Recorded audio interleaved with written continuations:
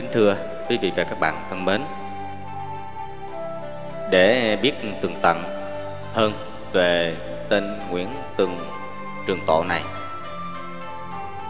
Chúng ta tìm hiểu tiếp thêm phần 3 Có nghĩa là chương thứ hai. Phương pháp làm cho dân giàu nước mạnh và cộng tác với ngoại bang. Bắt đầu chúng ta đi tìm hiểu về ông Nguyễn Trường Tộ đã dùng phương pháp làm cho dân giàu nước mạnh như thế nào. Bản di thảo số 5 sẽ cho chúng ta biết ý tưởng của Nguyễn Trường Tộ về vấn đề làm cho dân giàu nước mạnh như thế nào. Nhận định bản di thảo số 5, kế hoạch làm cho dân giàu nước mạnh cũng gọi là lục lợi từ viết ngày 18 tháng 7 năm 1864. Nguyễn Trường Tộ bắt đầu bằng những lập luận có tính truyền giáo sau đây. Một tạo vật, thượng đế, sinh ra vạn vật cách đây 7.000 năm. Nguyễn Trường Tộ rất khôn khéo khi dùng chữ tạo vật hay chữ thượng đế để tránh màu sắc đạo Gia Tôn và hoặc cách đây 130 năm, người Gia Tôn Việt Nam thay vì gọi thượng đế, họ gọi là tạo vật chăng? Mở đầu bản điều rằng này, Nguyễn Trường Tộ lòng sự hiểu biết của mình vào Kinh Thánh. Tạo vật sinh ra muôn vật để cho con người sử dụng mà không tiếc một thứ gì. Kể từ khi có loài người, loài vật đến nay đã gần 7.000 năm, 7.000 năm nha. Đây không phải là bài viết về tôn giáo, nhưng vì ông Nguyễn Trường Tộ đã tin theo những điều sai lầm trong Kinh Thánh. Lúc nói rằng kể từ khi có loài người, loài vật đến nay đã gần 7.000 năm. Và những sai lầm khác mà chúng ta sẽ thấy trong các bài điều trần có tính tôn giáo. Vì thế tôi sẽ trích dẫn một số sai lầm trong vô số những điều phản tiến hóa, phản khoa học của Kinh Thánh để độc giả rộng đường dư luận. Và đồng thời để thấy cái kiến thức của ông Nguyễn Trường Tộ đến đâu mà ông tự khoe là cái gì cũng có học hết. 1.1 Con người và vũ trụ Nếu dựa vào Kinh Thánh thì quả đất và con người do Thượng Đế tạo dựng cách đây từ 6.000 đến 10.000 năm nhưng khoa học chứng minh rằng quả đất có hàng triệu năm về trước Thái Dương hệ cũng như sinh vật hiện diện trên quả địa cầu này được tóm lực như sau. Thái Dương hệ gồm mặt trăng, mặt trời và quả đất xuất hiện cách đây hàng tỷ năm. Các sinh vật dưới nước như cá, tôm, cua, ghẹ, ốc hến xuất hiện cách đây 600 triệu năm. Như thế thì Thánh Kinh đúng hay khoa học đúng? 1.2 Nước đá, sấm chớp và mây. Theo Kinh Thánh cuốn Job chương 37 đoạn 10 và 18 Chúa Trời mô tả về quyền năng của Ngài như sau. Nước đá có được bởi hơi thở của Đức Chúa Trời Job chương 37 đoạn 10 Ngài chứa nước đá trong mây và Ngài văng bủa các tia chớp Nhờ Đức Chúa Trời dẫn dắt nên mây bay khắp tứ phương. Job chương 37 đoạn 10 đến 12 May làm những gì mà Chúa Trời biểu là phải cùng khắp mặt đất. Job chương 37 đoạn 10 đến 12 1.3 Quả đất đứng yên, mặt trời chuyển động vòng quanh quả đất. Đời này trôi qua, đời khác lại đến Như quả đất muôn đời đứng yên. Mặt trời mọc, mặt trăng lặn Rồi mặt trời di chuyển về chỗ cũ. Kinh Thánh cuốn truyền đạo chương 1 đoạn 4 và 5 Thánh Kinh mô tả nước đá sấm chớp, mây, mặt trời, quả đất sai lầm và nhảm nhí đến như thế mà ông Nguyễn Trường Tộ lại tin rằng tạo vật sinh ra muôn vật để cho con người sử dụng. Sau khi thuyết giảng một vài điều trong Thánh Kinh chứa đựng những kiến thức sai lầm về khoa học, Nguyễn Tường Trường Tộ đưa ra nhiều sự kiện sai lệch về lịch sử rất có lợi cho ngoại bang. 2. Tầng thế giới cũng di thảo số 5 Nguyễn Trường Tộ viết, Cho đến thời Minh, Bước chân, bước tiến Âu Tây, Ngày một lên cao quỳnh vụt. Đến nỗi không có chỗ để thử cái tài dũng của họ nữa. Do đó, họ chuyển dần về phía Tây, Bỗng nhiên tìm được Tây Châu, Tức là Tân Thế Giới, Và chiếm lấy làm đất của mình, Khai thác vùng đất đai ấy mấy ngàn năm hoang vu. Cải tiến phong tục tập quán mấy ngàn năm hủ lậu Lúc đầu người dân bản xứ còn xem họ như thù địch, Dần dần đã chịu gần gũi và ngày càng trở nên thân thiết. Những người dân ở đây và đã học được hết những cái kỹ xảo của người phương Tây, Cho nên không đầy 100 năm sau đã đuổi được người phương Tây ra khỏi đất mình. Những nước phụ thuộc vào phương Tây xưa kia nay trở thành những nước thân phương Tây. Các nước ấy đã nhờ phương Tây mà thay đổi. Những tập quán cũ để trở thành giàu mạnh người phương Tây cũng nhờ vào nguồn lợi ở đó để chu cấp cho mình. Xưa thì nghiến răng căm thù nay thì đã thành tình nghĩa anh em tốt đẹp bền bỉ. Sách đã dẫn trang 136, 137 Vì giáo sĩ Nguyễn Trường Tộ được nhiều người ca tụng là một nhà thông thái Nên tôi muốn có vài nhận định tổng quát về đoạn văn nêu trên. Tân thế giới mà Nguyễn Trường Tộ muốn nói là Hoa Kỳ ngày nay. Nếu đúng như thế thì sự cấu tạo dân Hoa Kỳ cách đây hơn 200 năm Không phải như Nguyễn Trường Tộ mô tả. Tổng quát chúng ta có thể nói rằng kể từ lúc Columbus Columbus tìm ra châu Mỹ năm 1492 Tân thế giới bằng Hoa Kỳ bằng Hiệp chủng quốc. Cách đây hơn 500 năm thì vùng đất này là của thổ dân người da đỏ Đất hoang vu, trù phú, có nhiều mỏ vàng Nhất là bang California. Dân Hoa Kỳ được hợp thành bởi các đợt di dân như sau A. thành phần đầu tiên là các thổ dân da đỏ gọi là American Indian, Indian đã sống từ lâu trên mảnh đất hoang vu và trù phú này. B. Thứ hai là thành phần phạm pháp ở các quốc gia khác bị chính phủ họ đuổi ra khỏi nước cho đỡ gánh nặng. Một số thì thất nghiệp, khổ cực ở các nước Âu Châu đến đây lập nghiệp. C. Thành phần thứ ba có đầu óc phiêu lưu, mạo hiểm và thích làm giàu từ Âu Châu đi tìm vàng và khai thác tài nguyên trù phú trên vùng đất mới. D. Thành phần cuối. Là người bỏ xứ. Ra đi để tránh sự ngược đãi tôn giáo hoặc chính trị hoặc là buôn bán tạo lập sự nghiệp với hơn với mục đích thoát khỏi khuôn khổ của xã hội mà họ đã sống trước đây với khoảng 4 triệu người mới trên vùng đất lạ trù mật. Họ phải chiến đấu với thiên nhiên và hoàn cảnh để tự sinh tồn. Lúc đầu trong những năm đối khác, họ được người bản địa cứu giúp. Vì vậy mà hàng năm, người Hoa Kỳ tổ chức một ngày lễ long trọng vào tháng 11 Đó là ngày lễ tạ ơn. Nhằm ngày 27 tháng 11 hàng năm, Phải chinh phục thiên nhiên để tồn tại và phát triển. Ra đi, không lẽ trở về không? Vì thế, số người mới này rất tích cực giúp đỡ những ai có sáng kiến chế tạo được máy móc Hoặc có phương pháp để cải tiến cuộc sống của họ. Nhờ thế mà vùng đất tân thế giới này, ngày nay ngày càng nhiều nhân tài, quy tụ. Về mặt chính trị, số người mới trên vùng tân thế giới hoa kỳ ngày nay dần dần tách rời ra khỏi sự thống trị của người anh. Sau những năm chiến tranh, người hoa kỳ nhờ sự giúp sức của pháp và hòa lan, nên họ đã thắng anh quốc và tuyên bố độc lập vào ngày 4 tháng 7 năm 1776 đến nay đúng 222 năm. Xin thêm thêm Nguyễn Hiến Lê, sách đã dẫn trang 444 và 446 qua đoạn sử rõ ràng nêu trên chúng ta đã thấy không có trường hợp những người dân ở đây đã học được hết những cái kỹ xảo của người phương Tây. Cho nên không có 100 năm sau đã đuổi được người phương Tây ra khỏi xứ mình. Mục đích của Nguyễn Trường Tộ dẫn sai lịch sử như thế. Là với hậu ý khuyên triều đình, tự đức và dân Việt hãy bỏ súng xuống, gần gũi và thân thiết với thực dân Pháp Để học cái kỹ xảo của họ rồi cuối cùng đuổi họ về xứ. Nguyễn Trường Tộ đã lạc dẫn lịch sử và khuyên những điều này thật là hay. Dễ như trở bàn tay, Độc giả đã thấy cái tai hại của một giải pháp thỏa hiệp với Pháp. Để rồi Phan Thanh Giảng biết mình làm nên phải tự tự để tạ tội với quốc dân Chúng ta cũng thấy cái tai hại của sự thỏa hiệp trong bài này Ở phần 6 điều lời mà Nguyễn Trường Tộ đề nghị 3.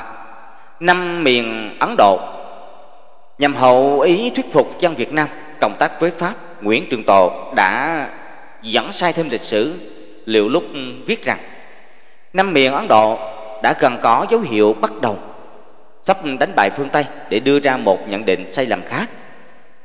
Lấy cái lợi vô cùng chưa dùng của núi sông chúng ta đã đổi lấy cái trí của họ thì họ đã kẻ vỡ hoang mà ta thì tưởng cái thành quả như các nước Tây Châu vậy. Nguyễn Trường Tộ nói như thật, thực dân Pháp đâu có khờ đến đổi họ là kẻ vỡ hoang, mà ta thì hưởng cái thành quả. Thật ra chính sách thực dân của Pháp, cụ Phan bộ Châu, một nhà cách mạng lão thành đã nhận định rất đúng. Họ coi mình như trâu như chó, họ coi mình như cỏ như rơm, cỏ thì nhổ cho trâu, làm thịt trâu. Chứ làm gì có cái thiên đàng. Họ là kẻ vỡ hoang vỡ vỡ hoang. Mà ta thì hưởng cái thành quả. Như tôi đã nhận định trong đoạn đầu những bản điều trần của Nguyễn Trường Tộ luôn luôn đi song hành với tình hình chính trị của Pháp lúc bấy giờ.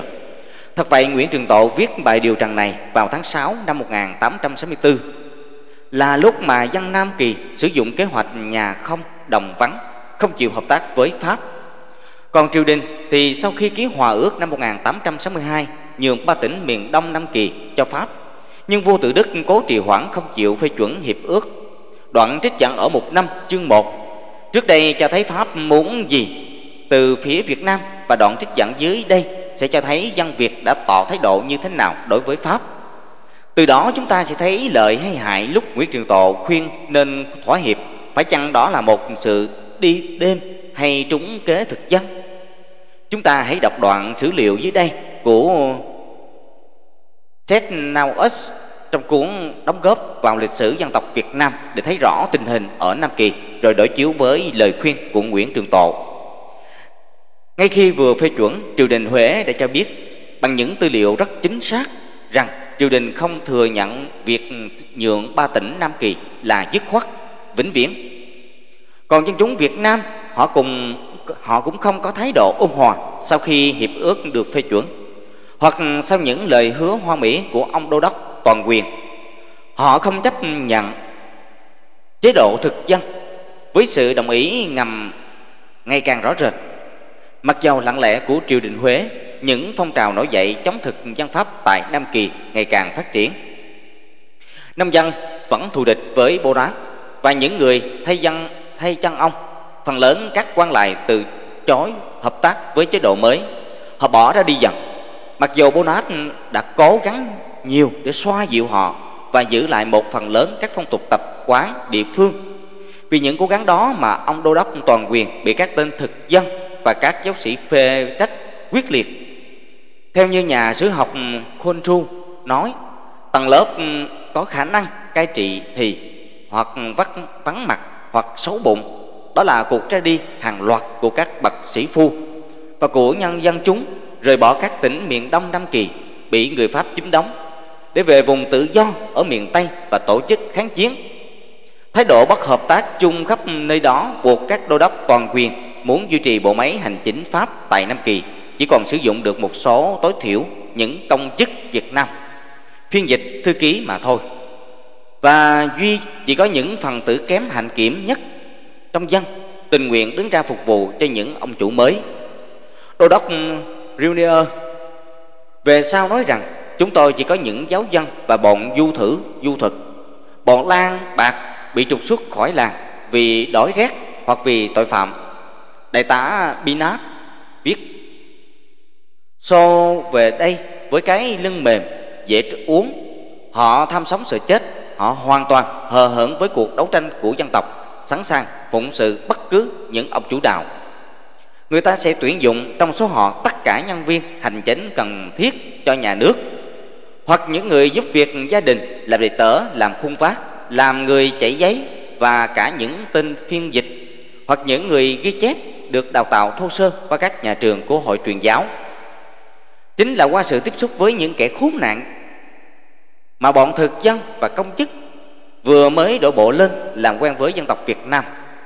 Nhà sư học Khôn Tru kết luận, hoàn toàn hời hợp về cái gọi là giáo dục phương Tây mà họ có đã được tiếp thu những thanh niên Việt Nam này trở thành những ông thông, ông phán, ông ký, kiểm soát phiên dịch ấy lập thành tại xứ sở thuộc một địa thuộc địa một tầng lớp những người tha hóa chuyên lợi dụng địa vị chính thức của chúng để nhân danh chính phủ Pháp.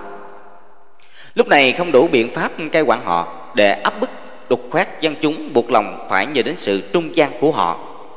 Tại Nam Kỳ chính là từ trong những người công giáo An Nam mà người ta tuyển chọn những kẻ giúp việc cho chính phủ Pháp. Phạm Quỳnh đã viết, họ có tài cái cái gì, phần lớn chỉ là những tay dạy giáo lý cơ đốc. Vì hành kiểm kém mà bị các giáo chủ đuổi về và dưới một cái tên Latin bởi vì họ nói lẩm bẩm tiếng Latin là đại diện cơ sơ lược của thủ đoạn của sự vô trách nhiệm và sự thoái hóa của châu Á. Những phong trào cách mạng lớn tiếp tục chú ý nhất là các phong trào Quảng Định, Thủ Khô Hơn, Thiên Hộ Dương, Quảng Lịch, Quảng Thanh không ngừng dương ngón cao ngọn cờ kháng chiến.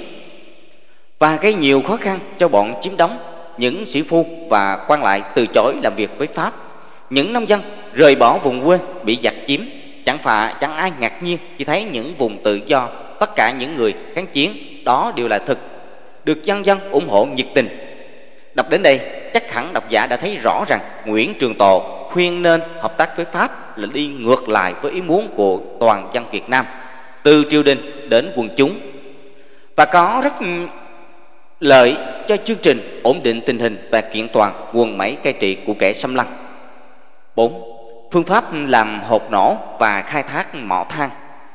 Bằng một hàng chữ lớn trong bản điều trần này, Nguyễn Trường Tộ viết Xin kê ra các phương pháp làm hột nổ và đúc súng, đúc kim loại cùng các môn quan học, cơ học, hóa học, khai thác mỏ than. Với hàng chữ lớn như thế, người ta cảm thấy sung sướng vì hy vọng rằng sau khi đọc xong đoạn này, dài khoảng 1.800 chữ, là có thể biết được ít ra là lý thuyết về phương pháp làm hột nổ và đúc súng nhưng không chẳng thu thập gì được ừ, qua sự trình bày của các phương pháp nói trên của Nguyễn Trường Tộ chính ông cũng đã cho thấy điều đó lúc viết rằng việc học tập và sắm khí cụ phải thực hiện đồng thời, không thể thiếu một. Nếu đã được học qua loa như tôi mà không có khí cụ, khi gặp khó khăn, lại không có người chỉ vẽ, thì cũng chẳng biết lý thuyết và công dụng mà thôi. Và cũng có đó, và cũng khó đem ra thực hành được. Lúc xác nhận, chính mình cũng chỉ mới học qua loa. Thế thì không nên trình bày làm gì cho phí phạm thời giờ vô ích thực ra, chúng ta không thể thấy kiến thức về khoa học của một người ngày hôm nay để so sánh với kiến thức khoa học của một người đồng dạng cách đây 130 năm. Nhưng điều tôi muốn nói là lúc đã hô hào, nên theo lối học thực dụng thì chính người hô hào phải nắm vững vấn đề ít ra là trên lý thuyết. Để sự trình bày được rõ ràng, dễ hiểu, có thể ứng dụng ngay. Còn không, tốt hơn hết, không nên nói một điều gì mà mình không biết rõ về cái mà mình muốn nói. Chính mình đã chưa hiểu, làm sao trình bày cho người khác hiểu được. Do đó, đoạn văn xin kê ra các phương pháp làm hộp nổ dài 1.800 chữ, chỉ là sáu ngữ vô ích. Năm, việc làm cho nước nhà giàu có. Đoạn chính thứ hai trong bài điều trần này, Nguyễn Trường Tộ viết, Sau đây tôi xin đưa ra một khoản về việc làm Sao cho nước nhà giàu có để cứu giúp lúc khẩn cấp. Một là nguồn lợi về biển về biển thì không có nguồn lợi nào lớn bằng cá với muối. Hai là nguồn lợi về rừng. Rừng thì không có gì lớn bằng gỗ. Ba là nguồn lợi về đất đai. Đất đai thì không có gì lớn bằng tơ gai. Bốn là nguồn lợi về mỏ. Về mỏ thì không có gì lớn bằng đồng và thiết. Bốn nguồn lợi ích ấy. Ngoài việc tùy theo thổ nghi mà thu thuế ra, còn phải nghĩ những phương pháp hay như của Tây Âu để thu nhiều sản vật. Sau đó cho tàu bè, nhà nước chở ra bán cho các nước, rồi lại trở về nước mình, những hàng cần dùng mà nước mình không có. Cái lợi bán mua qua lại như thế thường được cấp 3 đó là một nhận định sai, vì Việt Nam là một nước công nông nghiệp. Đất để trồng lúa gạo cho đủ ăn là vấn đề chính, nếu gạo còn dư thừa thì xuất cảng còn tơ lụa là phụ chứ không thể chính được còn hầm mỏ thì nếu có được mỏ bạc mỏ vàng chắc chắn sẽ quý hơn mỏ đồng mỏ thiết chứ không thể ngược lại. Còn lúc nói biển có cá muối rừng có gỗ đất trồng dâu nuôi tầm có tơ lụa đất có quặng mỏ ai lại không biết các điều đó? Tuy nhiên điều mà chúng ta bị thất vọng là nguyễn trường tộ đã không đưa ra một phương pháp nào để có được nhiều cá, nhiều muối. Vừa dùng vừa bán Làm thế nào để có nhiều gỗ quý?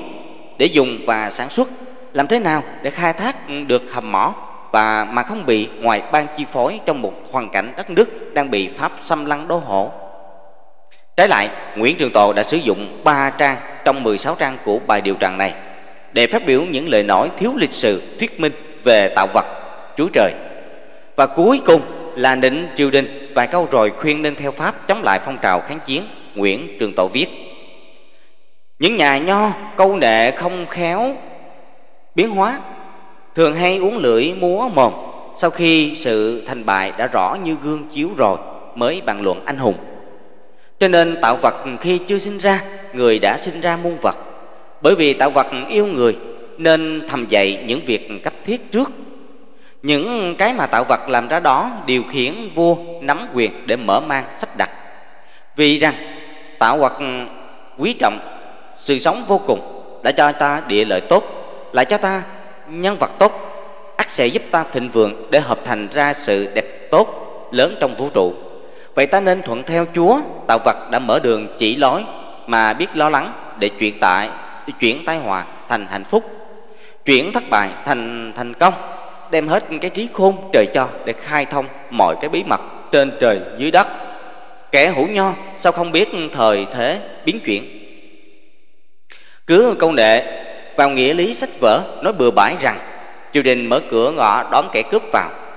Sao không biết rằng, lúc thời thế đã đến, không thể ngăn được. Lúc thời đã đi, không thể chặn được. Tạo vật đã sắp đặt như vậy, sao ta không biết liệu cách tạm thời lưu thông với họ?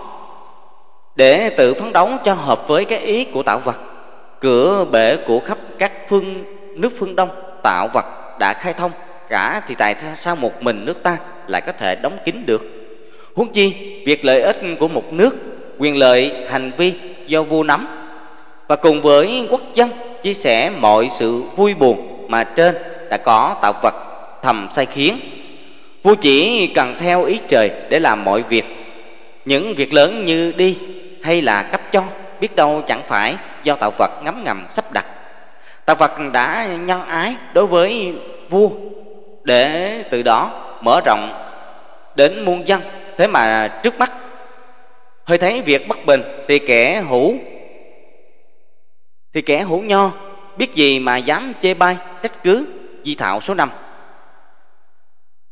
Trương Bá Cần, sách đã dẫn trang 142 đến 144 Xin nhường sự phán xét trên cho độc giả và quý thính giả, Nhất là cái tư tưởng nhảm dí của Nguyễn Trường Tộ cho rằng Tạo vật đã sắp đặt như vậy Sao không lưu thông với họ?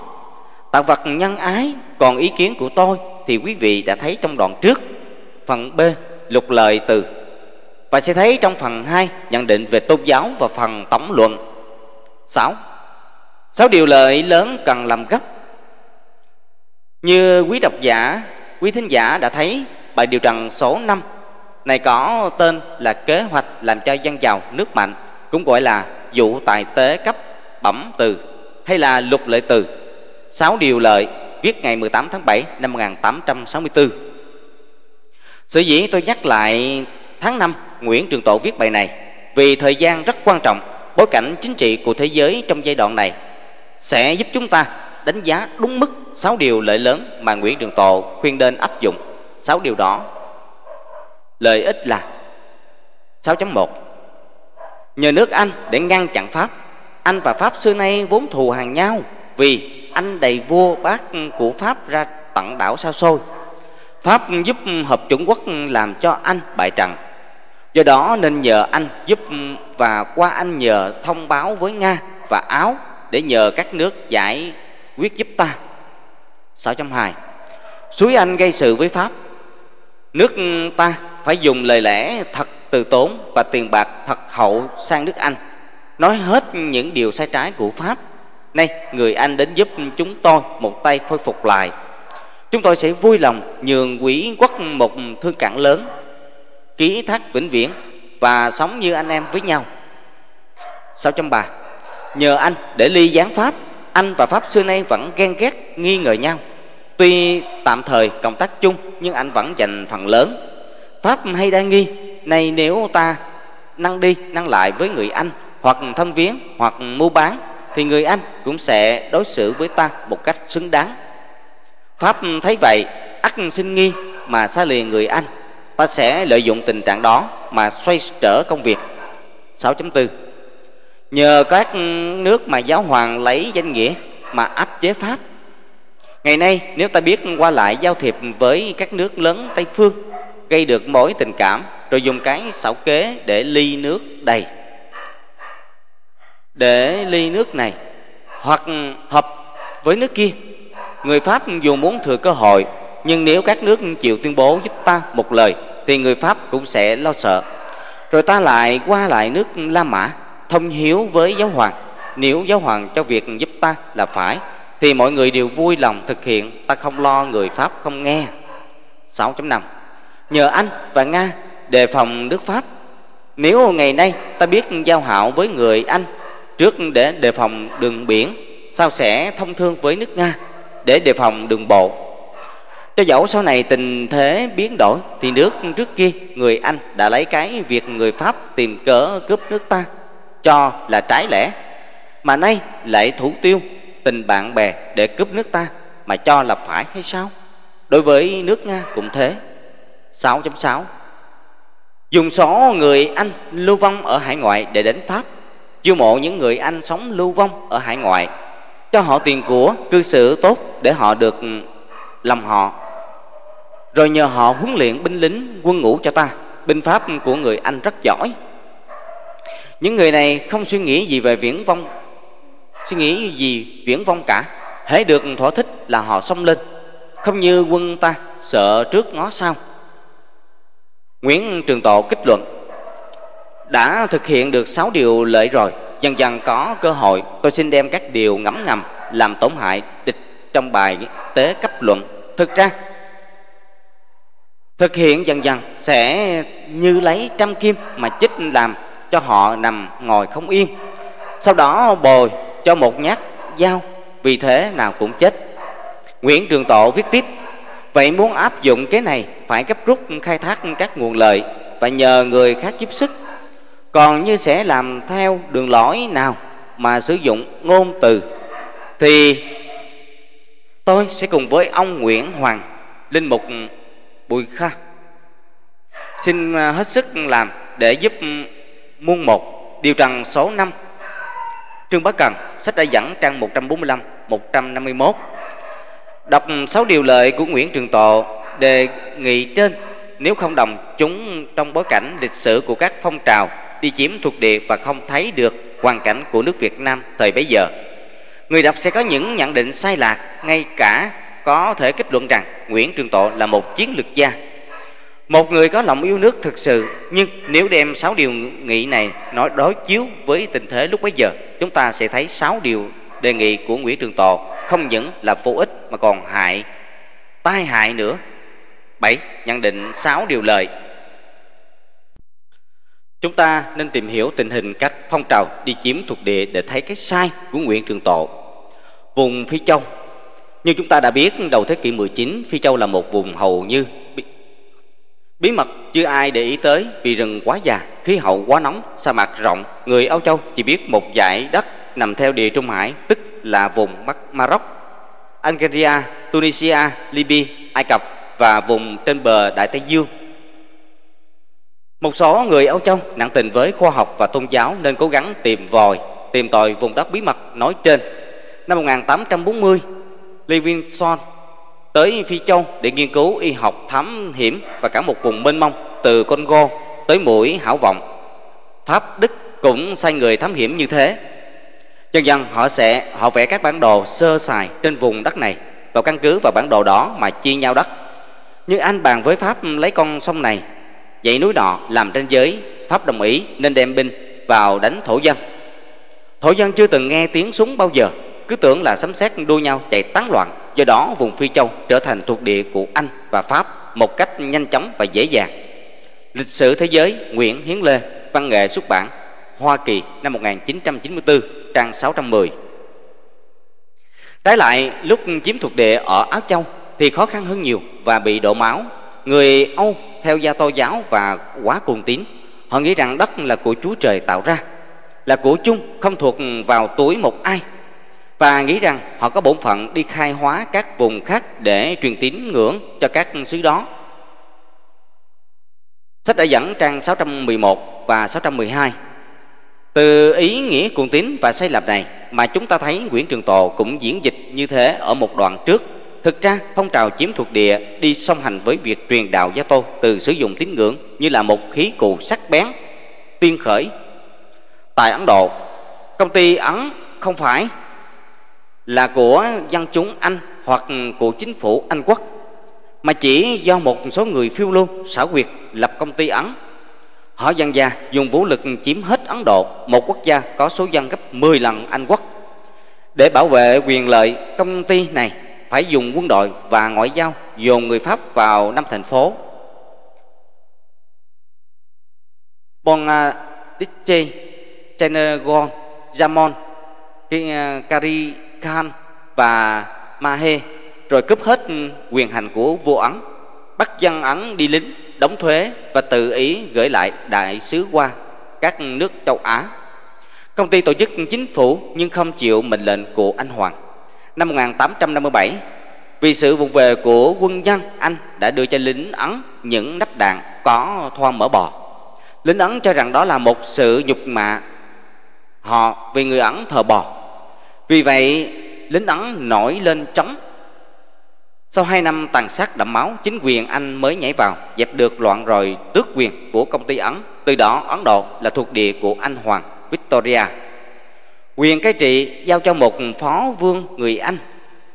Chính sách của Anh là dùng người Ấn để cai trị người Ấn và suối người Ấn theo đạo Hồi chống lại người Ấn theo đạo Bà La Môn. Tổng số dân Ấn lúc bấy giờ là 300 triệu. Ấn là thuộc địa quý nhất của Anh để bảo vệ Anh chiếm các xứ xung quanh. Tuy nhiên, phía Tây họ chỉ chiếm được Bolonchita mà không lắng được ăn phú hãn vì họ sợ đụng độ với Nga phía Bắc. Anh chiếm một phần Tây Tạng, còn phần kia thì chia quyền lợi với Trung Hoa. Phía Đông, anh chiếm Miến Điện. Sách đã dẫn trang 614. Sau khi bị hất ra khỏi Ấn, Pháp tìm cách chiếm Việt Nam năm 1862. Cao Miên và Lào làm chủ cả bán đảo Đông Dương, còn Sim, Thái Lan trở thành vùng đất độn chịu ảnh hưởng của Pháp lẫn Anh. Sách đã dẫn trang 615. Phi luật Tân Nguyên là thuộc địa của Y Nha Pho, Y Nha Nho, Spain từ năm 1527. Chữ Philippines tiếng Pháp có nghĩa là những hoàng đảo của vua Philip, nước Y Pha Nho. Người Phi bị cưỡng bức theo đạo Gia Tô như người Y Pha Nho. Sách đã dẫn trang 620. Nói về thế trận và phân chia tranh giới lúc bấy giờ, chúng ta nên để ý thêm một chi tiết khác về Nga, Pháp và Anh. Nga chỉ lâm le, sâu xé thổ để kiếm đường thông ra biển.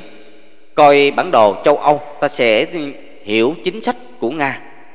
Bắc băng dương suốt 5 năm đầy băng tuyết, hoàn toàn vô dụng rồi. Trên biển Baltique có hạm đội của Đức, Na Uy, Thụy Điển, Đan Mạch Phần Lan Nga phó khó mà len ra được. Dẫu có được thì tới Bắc Hải cũng phải đụng đầu với hải quân Anh mạnh nhất thế giới. Vậy Nga bị vây hãm, chỉ có hai đường thoát ra ngoài. Một là tiến qua Đông chiếm trọn, Tây Bá Lợi Á. Vươn tới Thái Bình Dương, Đường đó đã xa mà lại chạm trán với Nhật. Hai là do Hắc Hải mà thông ra địa Trung Hải.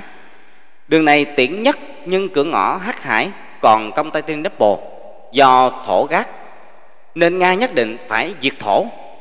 Anh không chịu vậy. Vì nếu Nga chiếm công tay tên Constantinople thì hạm đội Nga tung hoành trên địa Trung Hải, con đường của anh qua Ấn sẽ lâm nguy. Vì thế anh tìm cách kéo Pháp về phe mình để chống Nga và bên thổ. Chẳng thà để Constantinople cho thổ vì thổ yếu không làm hại mình được chứ không chịu để cho nga nã phá luân để tòng pháp thích chiến tranh hoan nghênh ý của anh vô Sanager hồ theo và ba nước và cả ba nước tuyên chiến với Nga. Hai bên chém giết nhau ghê gớm trong hai năm, năm 1854 đến năm 1856.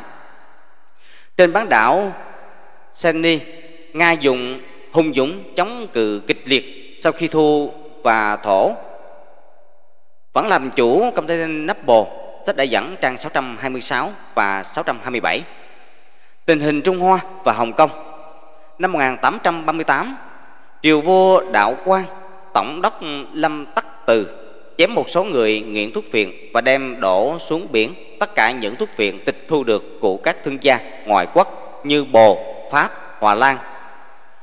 Qua vụ này, Anh quốc chống lại Trung Hoa năm 1840, quân Anh tấn công Chiết Giang, tiến lên trục lệ, rồi thẳng vào Thiên Tân, quân Lâm Tắc Từ thua. Triều đình Trung Hoa hoảng sợ, cách chức Lâm Tắc Từ để đề nghị hòa với Anh ký hiệp ước Nam Kinh. Chịu bồi thường số pha nha phiến bị tiêu hủy mở năm cảng Quảng Châu, Hạ Môn, Phúc Châu, Ninh Ba, Thượng Hải cho người Anh và cắt đứt hương cảng Hồng Kông tặng cho Anh. Sách đã dẫn trang 614. Sau hòa ước Nam Kinh, đảng Thái Bình, Thiên Quốc lập ở Quảng Đông.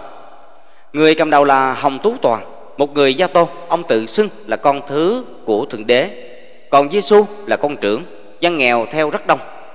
Năm 1850, Tú Toàn thấy giấy binh chiếm được vài huyện, quân sĩ tôn ông làm Thái Bình Vương.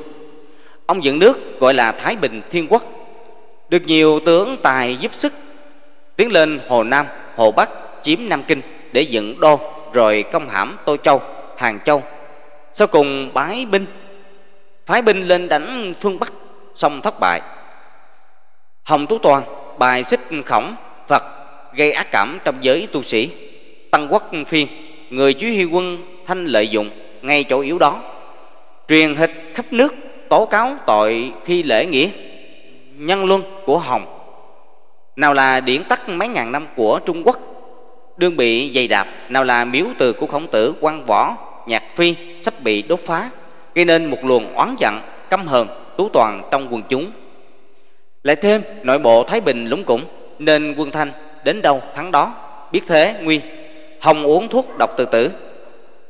Sách đã dẫn trang 642 và 643 vừa dẹp xong loạn thái bình, thiên quốc, nhà thanh phải đương đầu với âu châu. Trong cuộc trận chiến tranh nha, phiến thứ nhì năm 1856 năm 1860 sau khi ký điều ước năm Nam Kinh, anh lại càng chở nhiều thuốc phiện vào Trung Hoa. Bắt đầu, nhà Thanh cho phép bán nha phiến công khai, mở thêm hải cảng để thông thương và tiếp đại sứ thần châu Âu tại Bắc Kinh. Nhà Thanh không chịu nhân ở Quảng Đông nhà cầm quyền bắt thuyền buôn của người Trung Hoa có treo cờ Anh và ở Quảng Tây nhiều giáo sĩ Pháp bị hại anh Pháp tổ chức liên quân tấn công Quảng Châu, Thiên Tân vào tận Bắc Kinh đốt phá. Thanh Đình bối rối, Nga đứng ra điều trình. Trung Hoa phải ký điều ước Bắc Kinh mở thêm 7 thương khẩu cho phép các giáo sĩ và thương nhân Âu Châu tự do lưu thông khắp nơi.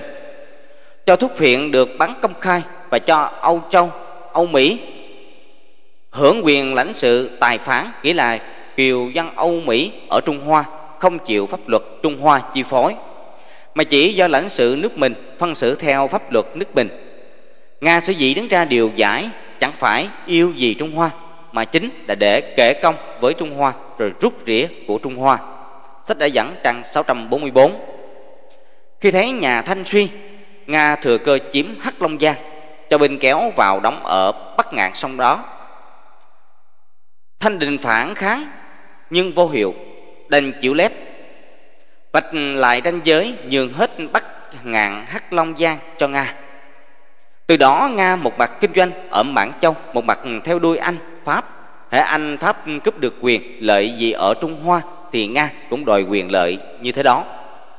Nhật bản lúc đó đã bắt đầu duy tân đứng bên nhìn người âu chia nhau miếng mồi mà thèm thuồng, chạy cũng nhảy vào đòi cắt. Trong thời quan tự, nhật chiếm lưu cầu, Pháp nuốt Việt Nam. Anh chia miếng Điện, Rồi Nhật lại đòi Đài Loan. Triều Tiên, Đức nắm giao Châu Loan, Nga thuê Lữ Thuận, Anh thuê Uy Hải Vệ, Pháp thuê Quảng Châu. Duy có ý chậm chân tới sau Đòi mượn một nơi ở Phước Kiến không được Bén lẻn rút lui Họ thuê đất mà còn Bắt chủ đất ký giao kèo Không cho nước khác thuê những miếng bên cạnh Chẳng hạn khi thuê ở Quảng Châu Loan Người Pháp yêu cầu nhà Thanh không được đem đảo Hải Nam và các tỉnh Quảng Đông, Quảng Tây, Văn Nam nhường cho nước nào khác. Anh cũng xin không được nhường cho nhường các tỉnh hai bờ sông Dương Tử cho ai. Tóm lại, họ chiếm căn cứ địa để cắt xẻ Trung Hoa thành nhiều phạm vi thế lực như Mãn Châu thuộc phạm vi Nga, Sơn Đông thuộc Đức, Phúc Kiến thuộc Nhật, lưu vực Dương Tử của Anh, Hoa Nam của Pháp. Trong mỗi phạm vi, họ đòi đủ quyền lợi khai mỏ, đặt đường xây lửa. Trong lịch sử chưa từng thấy vụ nào mà các cường quốc đồng lõa với nhau để hút máu, rút xương nước khác một cách trăng tráo và có tổ chức như vậy.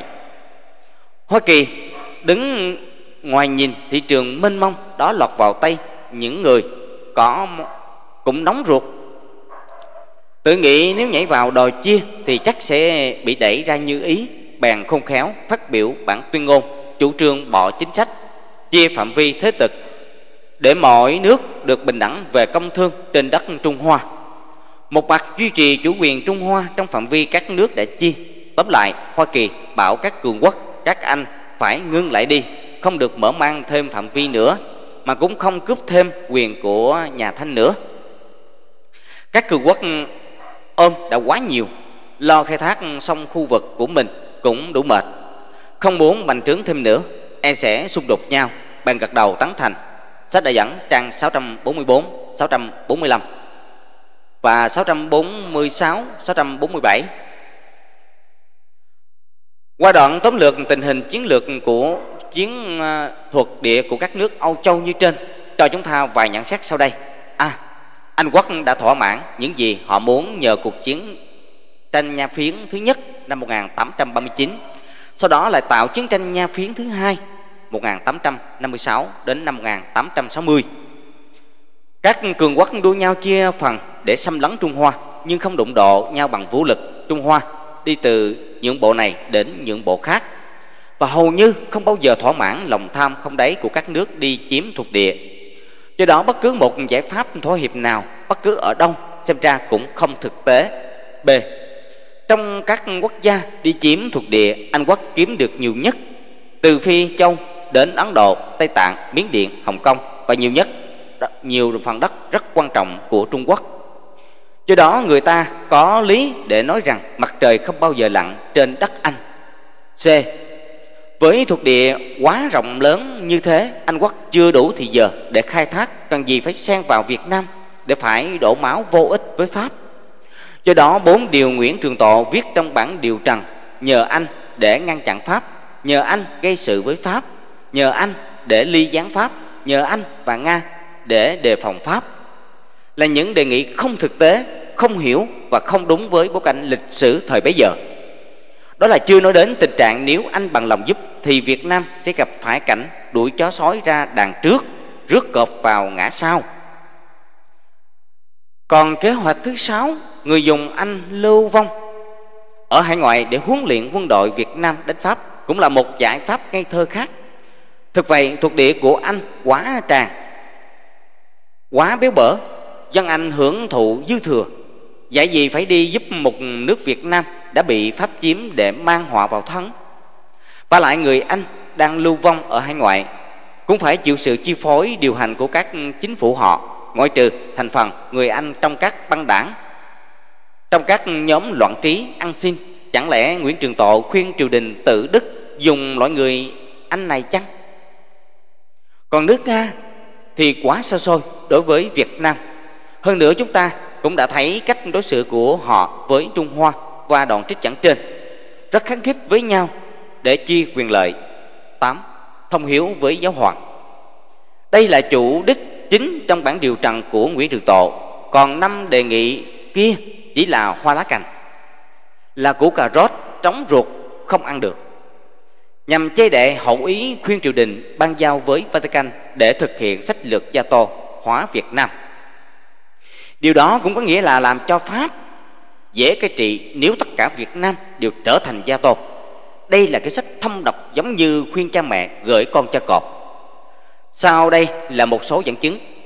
Một người thông minh như Nguyễn Trường Tộ chắc chắn đã biết rõ việc Pháp chiếm Việt Nam là do giáo đoàn hải ngoại Pháp và Y Nha, Y Phai Nho mà chỉ thì hoặc ít ra đã được giao giáo hoàng khuyến khích và đồng ý và dẫn chứng sau đây sẽ cho thấy điều đó à như độc giả đã thấy, ở phần trước, giáo sĩ Alexander Roth, tên Việt Nam là Đắc Lộ, sau khi hôn chân giáo hoàng và từ giả Roma ngày 11 tháng 9 năm 1652 để đi Pháp vận động chính phủ Pháp chiếm Việt Nam. Chúng ta nên để ý rằng giáo hội Gia Tô, Công giáo là một tổ chức theo đẳng cấp tuyệt đối. Giáo hoàng là người đại diện Chúa ở trần gian. Ông có quyền cách chức bổ nhiệm, cấm đoán hoặc cho phép các hồng y, giám mục, linh mục, con chiên thi hành các công tác đức tin và công tác trần thế. Do đó chúng ta hiểu rằng Alexander Roth đã được giáo hoàng đồng ý và cho phép vua cho phép qua pháp vận động triều đình đánh chiếm Việt Nam. Một linh mục, giám mục không làm điều gì khác nếu không được giáo hoàng chấp thuận. Như thế, việc vận động một thế lực chính trị ngoài Vatican để xâm chiếm Việt Nam đã có tương đã có từ năm 1652 do giáo hoàng chỉ thị của ông Alexander Roth. Xin xem thêm vài góp ý với giáo sư Trương Thâu về linh mục Alexander Roth và chữ quốc ngữ trong cuốn Kitô giáo từ thực chất đến quyền thoại, Văn hóa Cali xuất bản Hoa Kỳ năm 1996. B. Gần hơn, cùng thời với Nguyễn Trường Tộ, chúng ta có thêm chi tiết sau đây.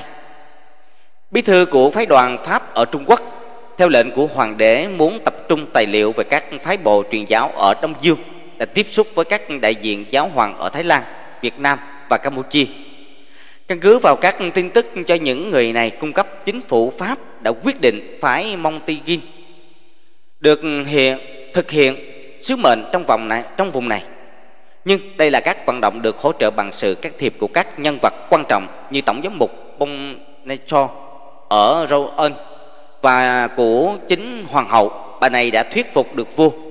Dù đó là vua không có kế hoạch thực dân nào rõ rệt các vận động này được thực hiện bởi hai người truyền giáo linh mục Húc, hội viên hội thánh Lazare, cựu đại diện giáo hoàng ở Trung Quốc, tác giả cuốn Đạo Thiên Chúa ở Trung Quốc, Tarier và Tây Tạng cùng nhiều tác phẩm khác về Trung Hoa và giám mục Pellerin, đại diện giáo hoàng tại Bắc Nam Kỳ.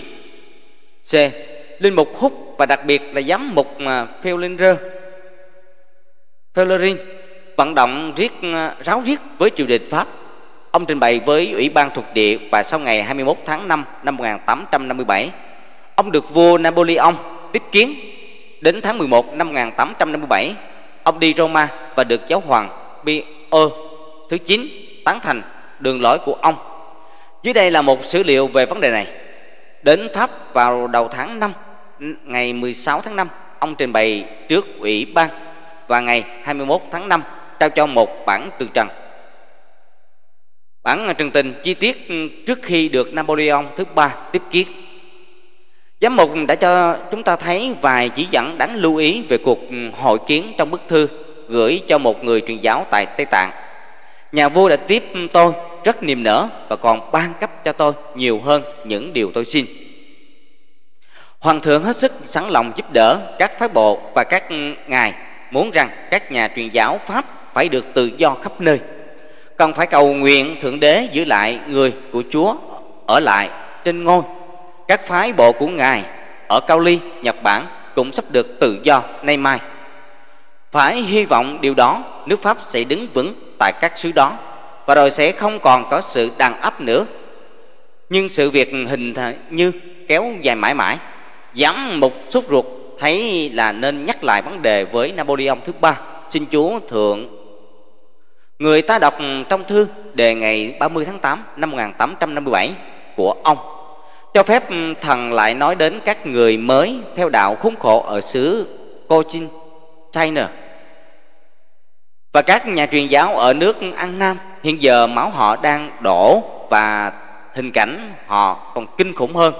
Từ cuộc vận động sao chót của nước Pháp, nếu bây giờ người ta vẫn không làm, cho bọn thần cả e rằng đạo thiên chúa bị tận diệt ở tại các vùng hình chữ sẵn sàng tiếp đón lợi ích của đạo thiên chúa và nền văn minh. Thần đến xin chúa thượng đừng bỏ rơi bọn thần, điều bệ hạ làm cho bọn thần sẽ khiến cho ân phúc của chúa ban xuống, cho bệ hạ và triều đại huy hoàng của bệ hạ.